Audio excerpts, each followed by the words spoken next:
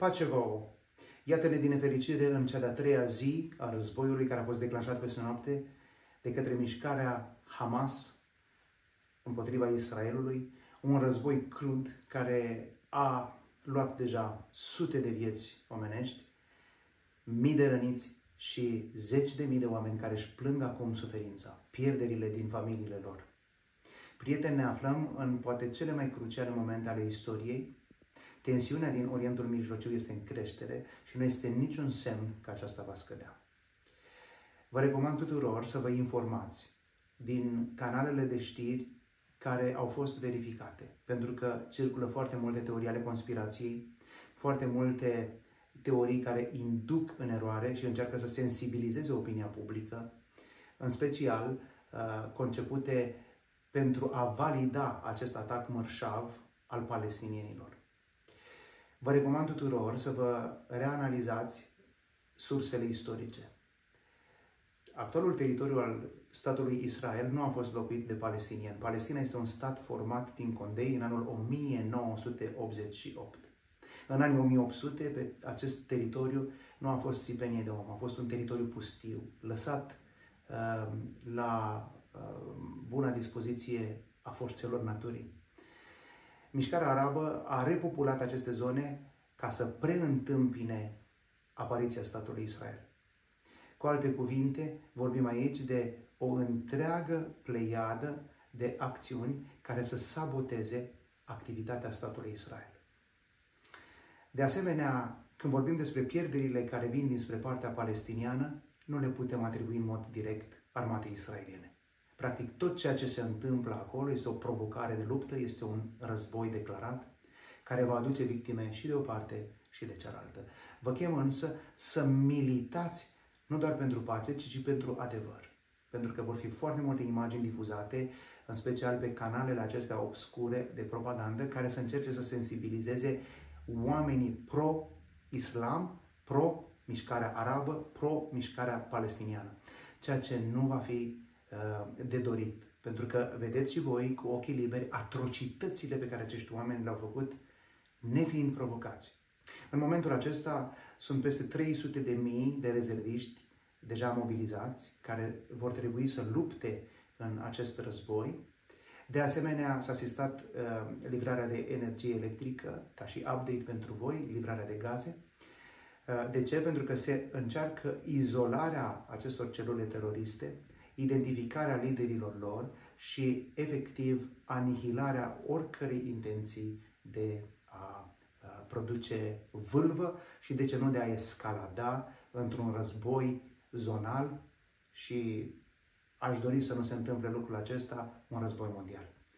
Prieteni, mișcările arabe încearcă aceste tensiuni și le încearcă pentru că știu că, din punct de vedere militar, nu pot să facă față alianțelor israelieno-americane. Statele Unite și-au trimis deja, începând cu ziua de ieri, uh, o parte însemnată a flotei lor maritime, uh, unul dintre cele mai mari Uh, portavioane însoțit de o sumedenie de vase de luptă, se deplasează și sunt repoziționate în Marea Mediterană, aproape de zona Israelului. Asta pentru că Statele Unite, din punctul de vedere al celui mai bun strateg militar până la urmă, a înțeles riscul de uh, a ajunge în fața celui de-al treilea război mondial. Din nefericire, ceea ce se întâmplă în Orientul Mijlociu are un factor de risc mult mai mare decât ceea ce se întâmplă acum în Ucraina, și între Ucraina și Rusia. Pentru că dacă războiul de la nordul țării noastre este unul izolat, în care cele două țări se, lupt, se luptă graniță la graniță, ceea ce se va întâmpla în Orientul Mijlociu are potențialul de a implica toate statele arabe de jur împrejurul Israelului, de a implica mișcarea musulmană care să încerce să protejeze deziderate religioase, cu un impact mult mai puternic în mentalul colectiv. De aceea vă chem pe toți în rugăciune având în vedere acest update din nefericire, unul care să nu ne aducă relaxare și optimism, vă chem pe toți în rugăciune și mijlocire pentru înțelepciunea lumii politice. Să-L rugăm pe Dumnezeu să dea înțelepciune atât domnului prim-ministru Benjamin Netanyahu, domnului președinte Joe Biden și tuturor actorilor de calibru implicați în acest conflict. Asta pentru că în viitorul foarte apropiat, cel mai probabil, Israel va trebui să meargă ca să-și consolideze forța atât militară, dar să și impună respectul în fața agresorilor săi, cel mai probabil vor trebui să se deplaseze către rădăcina acestor mișcări teroriste, Hamas și Hezbollah, și anume să se orienteze către Iran. Pentru că o știe cam orice om de strategie militară, actorul principal care stă în spatele acestor mișcări teroriste, chiar dacă o neagă în mod direct, este Iranul. Iranul care, la momentul acesta, este cumva unul dintre brațele drepte, dacă aș putea spune, eh, de care se folosește Rusia pentru sabotarea întregului Occident, prin armamentul pe care îl importă și dronele acestea. Cu fiecare zi care trece ne apropiem de venirea Domnului Isus. Toate aceste dezvoltări de forțe, toate aceste conflicte și războaie ne arată că lumea se poziționează pentru ceea ce a fost scris de mult în uh, cartea Ezechiel, în Isaia, în Ieremia, ceea ce ne-au prezentat cu atât de multe amănunte profeții de odinioară. Ar fi bine să luăm aminte și să ne pregătim, să ne schimbăm mintea și să ne pocăim, așa cum este uh, acest verb vechi folosit în religia românească. Schimbați-vă mintea. Gândiți-vă că mai este puțin și vine sfârșitul. Chiar dacă ne place, chiar dacă nu, chiar dacă acceptăm, chiar dacă nu. Vedeți voi, în cărțile acestea străvechi ne-a fost prezentat ceea ce se va întâmpla și iată că am ajuns în punctul în care se întâmplă. Prieteni, va fi încă și mai greu de, azi, de astăzi înainte. Pentru că Israel va începe să radă de pe fața pământului ca un buldozer fiecare cuib al mișcărilor teroriste.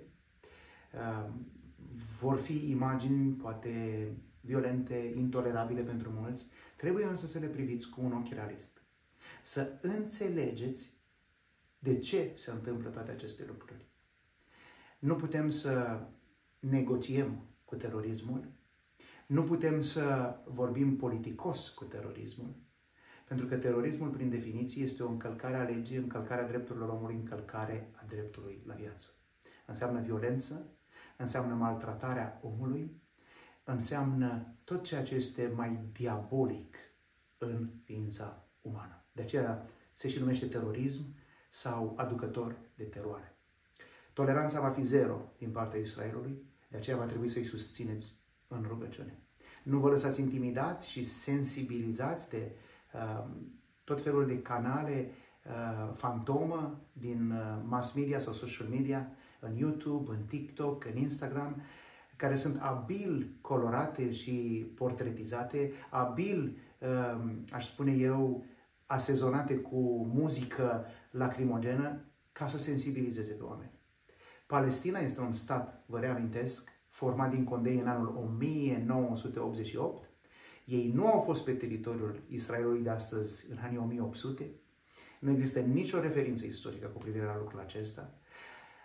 Tot ceea ce fac acum este o provocare, este o încercare de a învolbura apele. Cel mai probabil este o încercare de destabilizare nu doar dinspre lumea arabă, ci dinspre lumea uh, care deja este în război, pe axa Rusia, China, uh, Iran, dar sper că noi vom rămâne ancorați în Biblie și vom înțelege că rolul nostru este să ne rugăm, să mijlocim pentru Israel și să ne aducem aminte că dacă Domnul e cu noi, cine poate sta împotriva noastră? Fiți binecuvântați, mijlociți pentru Israel și Dumnezeu vă va bine.